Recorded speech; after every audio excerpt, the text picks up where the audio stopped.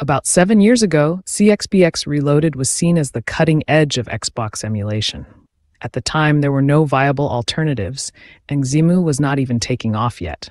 But how good is the emulator these days? And how come we never hear about it anymore? Could it be because so few games are considered playable? Given the time span, you would have expected more progress. There's also the matter of the community, which is practically non existent. For example, you can sign up to the Discord server, but you can't actually access the server. And it's been over a month since anybody's posted on the official subreddit. The emulator is still getting regular updates, though, so clearly it's not abandoned. And I will add that nobody owes us anything. We should remember that these developers work for free. I'm not making this video out of criticism, but merely out of curiosity. So let's take a look at the games and see how playable they truly are. I may as well start with Halo, since it's the console's most popular franchise. Everything seems fine at first, until you get a bit further into the game. As you can see, the colors are all wrong, and I don't need to add anything further. A few games that worked previously now crashed with unhandled exception errors. And these include Auto Modelista, Guilty Gear X2, Mortal Kombat Armageddon, Pac-Man World 2, and Red Dead Revolver. Burnout was stuck in an infinite loading screen. I waited five minutes before I finally gave up. I played Darkwatch twice. The first time it had no graphical issues, but it froze at a certain point. The second time characters were black, and it froze at the same spot. You'll be glad to know that GTA 3 is fully playable. I looked for bugs and couldn't find any. Performance is also more than acceptable.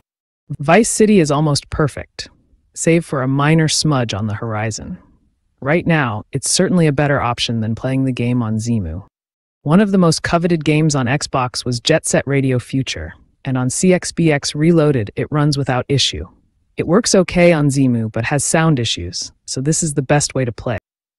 Max Payne is playable, but with minor graphical glitches.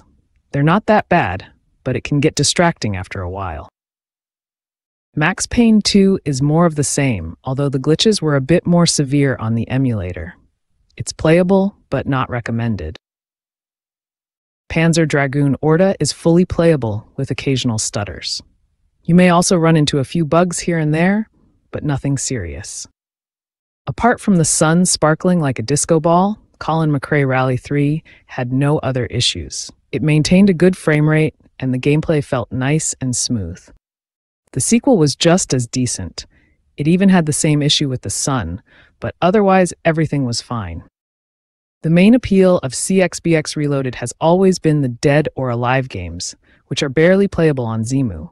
But here, both Dead or Alive 2 Ultimate and Dead or Alive 3 are fully playable on the emulator.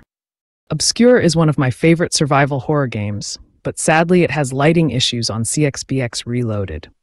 It's just way too bright and reveals details that should be hidden by darkness. Both Tony Hawk's Pro Skater 2X and Pro Skater 3 are fully playable on the emulator. They ran perfectly fine and without issue. But okay, that covers all the important games, but now I'll just add a bunch of others that deserve mention. DJ, cue the music, please.